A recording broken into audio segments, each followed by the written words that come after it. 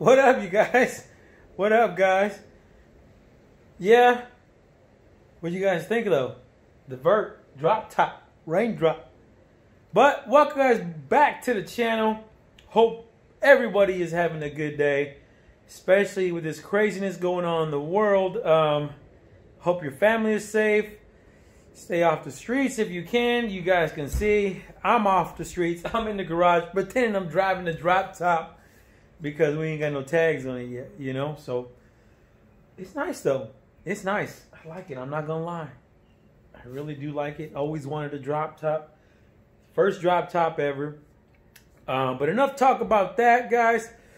I wanted to help you guys out as I always do. Um, I'm making this video to hopefully this will help somebody out. You guys got a 96 Impala. Um, maybe I want to say it'll work for 95, even the 94s. Um, with the dash cluster, a lot of times we have issues when our gauge, our gauges, and you'll have the odometer start going in and out. That's how mine started. Mine started giving me like weird readings, or not to say weird readings. It would flash in and out. Sometimes it would work, sometimes it wouldn't. And so I had to figure out what's going on with that. And then at, at one point, it just completely stopped, completely went blank. The lights came are off now, so no more reading. We don't we don't know where our, miles are at. So I found, uh, luckily for me, I'm in the B-body community, uh, I would call it, or brotherhood more more than anything, guys. The guys from the club here, they put me in contact with one of the guys on the forums. He sells a resistor kit that goes on these um, odometer and basically replaces the stock GM resistors on the back of the cluster. So luckily for me, I will put all his contact and information and email down in the description below, guys. So check that out if you guys are interested. Make sure you get this resistor kit. It's got some really good information on it, good details, instructions, and then anything that I might miss out on the video, hopefully you guys can get it from him or just follow the instructions. It's pretty self-explanatory. It's got pictures and everything, labels and all that. So hopefully this video will help you guys out with that. But let me walk over to the car real quick. I'll show you guys on how to basically take it out of the car. I've already took mine out. I've actually already even did the, the soldering on the back side of the cluster. I'll show you guys the clip of that. Hopefully that'll help you guys out. I took it to the workbench and did it there. Um, yeah, let's walk over to the car real quick and Stop, uh, you know, pretending in the drop top. If I can get out of here, I'm stuck. I think it needs some. I think it needs some grease in this door, huh? What y'all think? Shock collar, 20 inch blades on the Impala. Oh, yeah, we ain't got no blades on here. All right, guys, let me show you what's going on here. Like I said, I've already started without y'all. So you guys can see my dash is halfway off. Um, what you guys gonna need to do, obviously, lower dash has got to come off, or at least partially. You guys see, I just kind of removed it halfway off. Didn't even remove this side, just enough. As long as you guys undo a couple of these screws, or it should be just seven millimeter screws, undo those you got to undo this guy up here too. Up here, you're going to have two screws that hold it up there. Mine are off. I, I don't even put them back on because it just stays on. And then you're going to have the screws in here as well that hold the actual um, cluster in there. And then the connectors, these are your two connectors from the factory harness. It should just pull right out, pop it off, wiggle out it, wiggle it out of here. Like I said, you're going to have to play with this dash to get it to clear. Make sure your steering column is all the way down so you guys don't have any issues there. But like I said, I've, we've already done all this work. Um, hopefully you guys have done it too. If you guys can't get this thing out, don't try this at home because it is a little bit involved when it comes to the soldering and, and then all that, taking the resistors out. But here's the video on me actually working on the back of this unit. Hopefully this information helps. We'll come back here shortly to put this thing back in. I will work on that and it should work, right? Fingers crossed. All right, everybody. So this is my cluster here. This is my 96 Impala cluster. We got it here at the workbench. I'm gonna show you guys kind of what you're gonna need. You're gonna need just obviously your kit, your resistor kit, along with the wire leads that come with it. A T, I want to say it's a T15, yeah, Torx 15 screwdriver or bit, whatever you guys have, to remove these bolts here. To remove this backing. Um, you're gonna need a soldering iron. You're gonna need your solder this is just a rosin core solder. Um, I have this guy here. This is just kind of a desoldering pin that I use just to desolder stuff. Um, sometimes it works well, sometimes it doesn't. Whatever you guys have. Sometimes you don't even have to remove the, all the solder, but it's best to. Um, probably a hot glue gun if you guys have one. Um, that's pretty much it. So it's nothing too crazy. It shouldn't be too hard, guys. Let me open this back up now I do want to say I want to I want to say excuse me for the camera angle because I forgot my tripod. I don't have my tripod to set the camera on. And so I'm to do my best to show you guys what I'm doing at the angle I'm doing. So what I'll do is I'll talk about what we're going to do, do it, and then come back and show you guys hopefully in detail. Hopefully you guys will understand. If you guys have any questions, put them down in the comments below.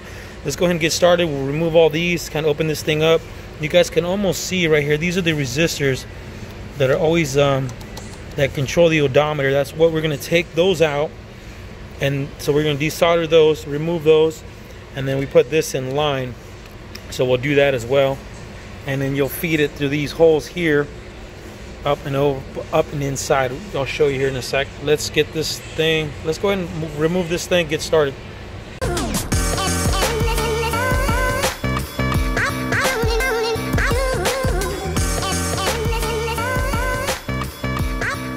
All right everyone so we got this thing open. I want to show you guys before we start. So you see this right here these are the resistors that a lot of times just go bad they get burnt up. You can kind of almost see it looks kind of burnty smoky kind of area you know? So we're going to remove all these here and then we're going to pass these lines these two leads in through this hole here come up and in and then back out here and then I'll show you guys where we got to solder them and then we'll go from there. Let me let's go ahead and take this stuff off and then get this all this gunk off. Um but you guys can almost see. I'm gonna tell you right now. So you see these two leads here on the circuit board? Ooh, let me remove. Sorry guys. So these two leads here on the circuit board those are where your wires are gonna end up being soldered. And then you're gonna have one that'll solder back in here and it'll jumper from there to there. So let me go ahead and get started. I'll show you guys once I'm done. And that way we can uh, see if this thing works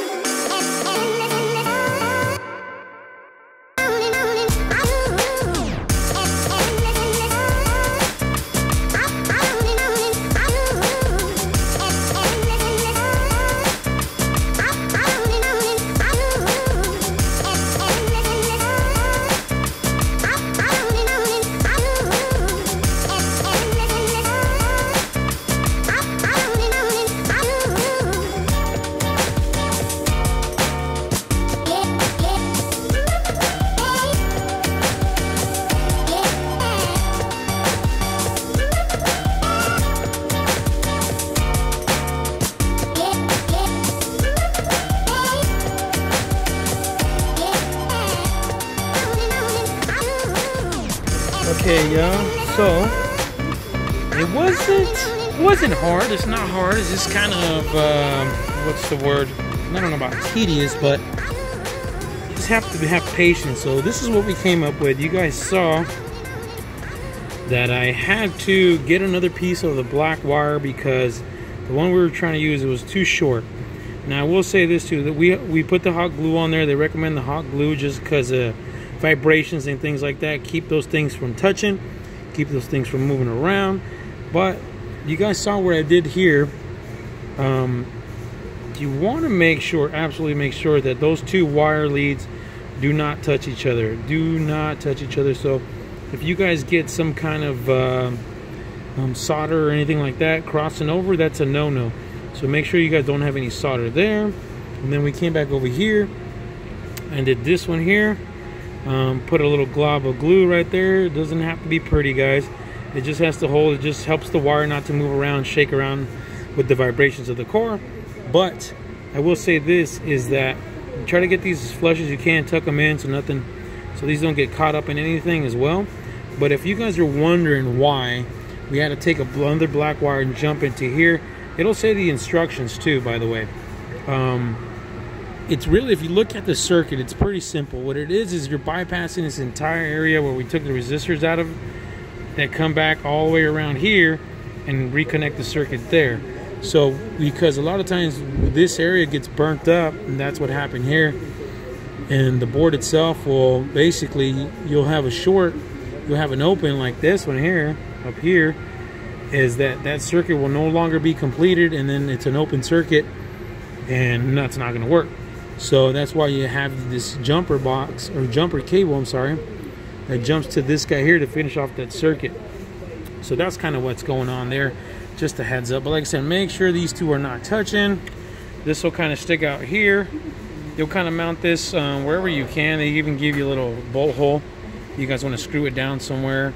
Um, once you put this back in the dash, or I'm sorry, yeah, back in the dash. Um, so what we're gonna do, um, I will get this back on the car and then make sure everything works, everything's tested. We'll put all this backing plate back on there. You guys don't need to see that. Um, I will also, guys, I will link the the guy's name and contact information down in the description below, so you guys know where to get this this uh, resistor kit. So if you guys are interested, hit him up, get the resistor kit from him. Um, luckily for me, I'm in the Impala community, in the B-body community. Uh, a couple of the guys from the car club, they actually told me where to find this kit. I thought it was pretty neat. I didn't see anything online on it, so I figured I'd show you guys a video. Hopefully this helps somebody. Um, that's kind of what I try to do is help you guys out and save you some money, save you maybe some headaches because I you can see what I went through and I'm glad um, you guys saw the mistakes I made. I wish I would have took these leads and measured up measured them out as well. Make sure we had plenty of length on that cable that's going over there. I screwed that up. And then I I don't know why. I should have pre-soldered these two cables together before I threw them through the hole through the loop here. Should have done that. So take all that stuff in consideration guys. And hopefully this helps. Um, we'll get this back on the car make sure everything works. We'll be right back Okay, you guys, I got the dash back in. I should say the cluster's back in. It's all plugged in. You just make sure it's seated nice and all the way back flush. Um, I got my screws all back in here. Like I said, just seven millimeter screws. I'm not going to go ahead and put this dash back in all the way yet, or even that bezel. We want to test it, make sure it works right. We've got the little resistor sitting right here up here the one we soldered. I don't know if you guys can see it. It can sit back there. It's not going to do anybody any harm. So, moment of truth, you guys. Let's see. You ready? Make sure this thing works. Oh, yeah, buddy. Look, it's already coming on. Hell yeah. Yes, sir. That's what I'm talking about right there. I can take that all day. Man, it's got even less miles than I thought. Shoot, I thought it had 164,000. It's only 150. Hell yeah. All right, guys, so we'll put that stuff back on, put this dash back in, and yeah, Well, guys, I hope this video helps anybody out there with a 94 through 96 Impala or Caprice. It should work for the Caprices. I'm not sure. Ask him. Um, I'll put his information all down in the description below, guys. Um, hit him up. Check his email out. Shoot him an email. Get this kit. Really nice kit. You guys can see it fixed our problem. It should fix yours, guys. Keep wrenching. I'm out.